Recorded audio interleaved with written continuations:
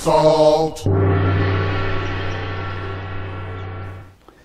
You have often heard me complain of the weak science that underlies the current recommendations for salt consumption.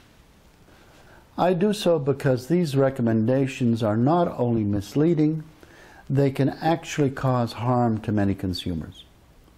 They are all part of the hundred year old salt hypertension myth that has never stood up to solid scientific scrutiny and only served as a red herring to divert our attention away from gaining a greater understanding of the full role of salt in human metabolism.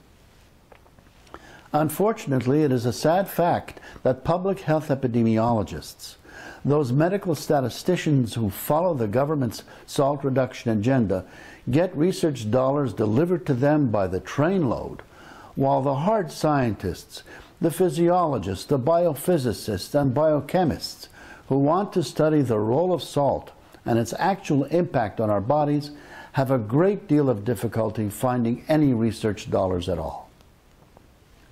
Occasionally, however, scientists can scrape together enough resources to do the research necessary to further our understanding of the role of salt. And that just happened recently when a group of scientists discovered a function of salt or sodium chloride that was hitherto unknown.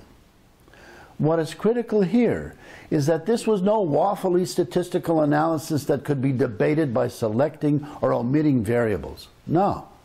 This was a clear cut, hard scientific study that visually tracked the movement of salt in the body using new magnetic resonance imaging, or MRI, techniques.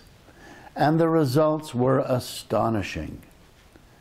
It started after a group of scientists led by Professor Jens Titze, a clinical pharmacologist at the Vanderbilt University School of Medicine in Nashville discovered that the skin, the largest organ in our body, can store sodium when we consume salt.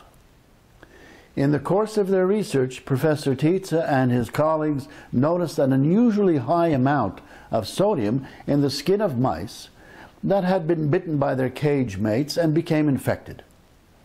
Fascinated by this observation, the researchers went on to examine the link between infection and salt accumulation in the skin of humans they found that patients with bacterial skin infections also showed remarkably high salt accumulations in the vicinity of the infection.